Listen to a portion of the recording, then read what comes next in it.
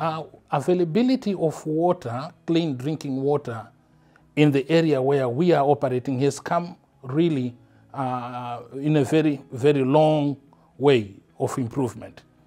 Uh, if you know from the period that we have had Idai cyclone, which affected millions of people in that area, we had situations where people were actually getting water from the nearby rivers, dirty water. Uh, others were getting sh from shallow, uh, open wells. And this was not really sustainable.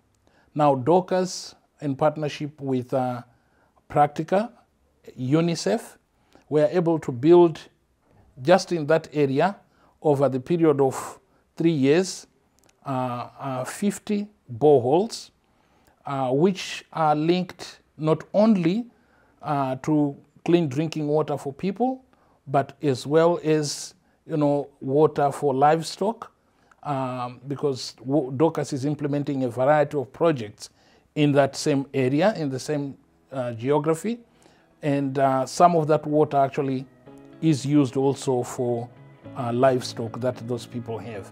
So it is improving to some extent, but we still need more.